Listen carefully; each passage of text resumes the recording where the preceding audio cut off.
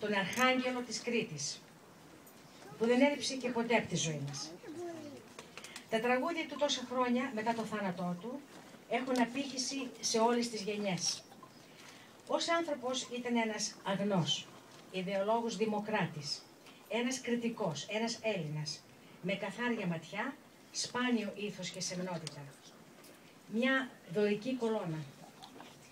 Με φόδια του ταλέντο του και την πύρινη ψυχή του, έχει το ξελούρι στην Αθήνα της δεκτοτορίας του 1969. Τι έθρεψε το πνεύμα και την ψυχή αυτού του παλικαριού από τα νόγια της Κρήτης, ώστε σαν αετός να ξεχυθεί και να κατακτήσει την αφιλόξενη πόλη και να γίνει σύμβολο όχι μόνο ελληνικό, αλλά και παγκόσμιο, όπου υπάρχουν Έλληνες και όχι μόνο. Πρώτα, η ίδια η κληρονομιά του τόπου του, ο χώρος και η ιστορία. Μετά η μουσική που κατακλείζει το είναι του.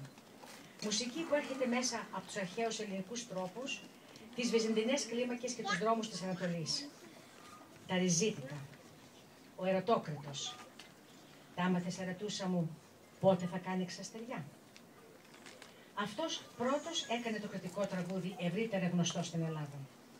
Ακολούθησε το μεγάλο βήμα η συνεργασία του με άξιους συνθέτες, τον Μαρκόπουλο, τον Ξαρχάκο, τον Λεοντή και άλλους, που κέντησαν τη μουσική τους πάνω σε στίχους του Γκάτσου, του Βάρναλη, του Ιτσου. Μέσα στη δικτατορία το 1973, η εξέχαστη Τζένι Καρέζη και ο Κώστας Καζάκος ανεβάζουν το περίφημο έργο του Καμπανέλη «Το μεγάλο μας τσίρκο». Πόσο επίκαιρο είναι. Ερβάτε όλοι, όλα τζάπα. Στα τραγούδια ο Ξυλούρης με τα θάνατα, το καφενείο η Ελλάς, περάστε κόσμο, και το φίλοι και αδέρφια που θα το ακούσουμε και απόψε, τελευταίο τραγούδι πριν τον κρατικό ύμνο. Το αντιστασιακό πνεύμα καμουφλάρεται μέσα από δίθεν καταλαβίστικους στίχους, ζαβαρακατρανέμια. Η Χούντα τελικά απογορεύει τις παραστάσεις. Μέσα στο Πολυτεχνείο ο Νίκος εμψυχώνει τον κόσμο με τα τραγούδια του.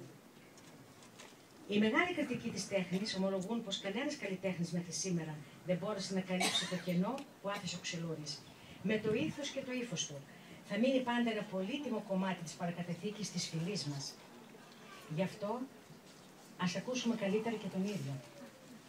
Και εμείς απλά μεταφέραμε τα τραγούδια τους στις μέρες μας, γιατί έχουμε ανάγκη να τα ξανακούσουμε, προσπαθήσαμε να τα σεβαστούμε και σας, σας καλούμε και σας παρακαλούμε να τραγουδήσετε μαζί μας. Πολλές θερμές ευχαριστίες απευθύνομαι στο Δήμο της ΚΟ και την Περιφέρεια Νοτιού Αιγαίου καθώς και στην αρχαιολογία για την παροχώρηση του χώρου, που με τη στήριξή τους έκαναν δυνατή την πραγματοποίηση αυτής της συναυλίας. Ιδιαίτερε ευχαριστήσεις στην κυρία Σβήνου, στον κύριο Σταυλά. Ευχαριστήσεις στον ταλαντούχο κύριο Λευτέρη Πουλιού, που ανέλαβε την επιμέλεια της ορχήστρας.